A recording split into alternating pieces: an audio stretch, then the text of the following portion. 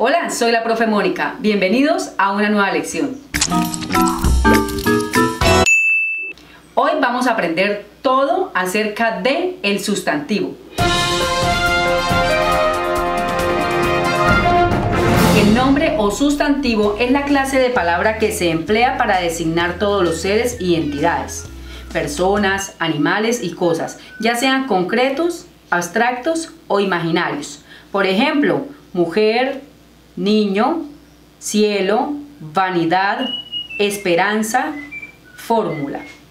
Otra clase de palabras como los adjetivos, los verbos, las preposiciones, las conjunciones y los adverbios pueden sustantivarse, es decir, sin ser sustantivos es posible usarlos como tal.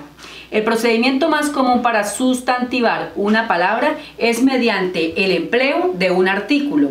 Por ejemplo, yo puedo decir aquel hombre es argentino o aquel hombre argentino. ¿Cuál es el sustantivo? Hombre. Y el adjetivo argentino. ¿Cómo puedo hacer para que este adjetivo argentino yo lo pueda sustantivar? Le antepongo un artículo. En este caso podría ser el argentino o un argentino. Veamos algunos ejemplos de adjetivos sustantivados.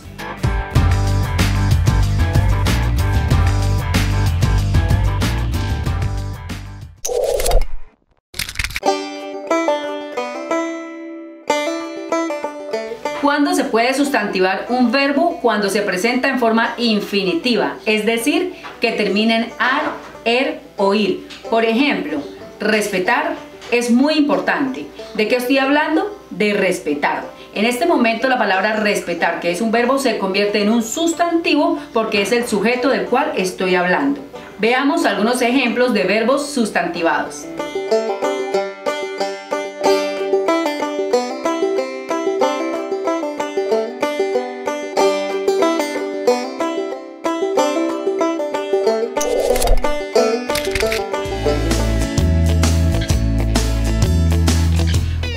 Adverbio se puede sustantivar, cuando el adverbio es el sujeto de la oración. Por ejemplo, solo importan el aquí y el ahora.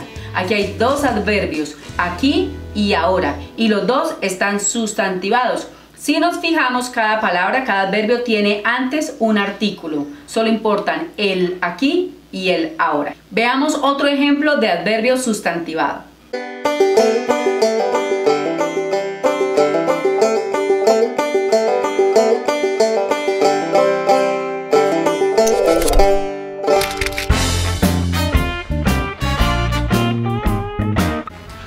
Preposición también puede sustantivarse, como por ejemplo, Juan siempre me lleva la contra. Contra es una preposición.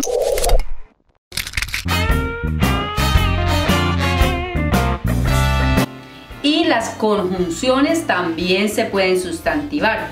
Recordemos que las conjunciones son esas palabritas que me unen dos oraciones, como en el caso de y, ni, pero. Por ejemplo, Jorge siempre pone peros para la visita. Pero es una conjunción y lo estoy utilizando aquí como sustantivo. Lea con atención las siguientes oraciones y detecte cuáles palabras están sustantivadas.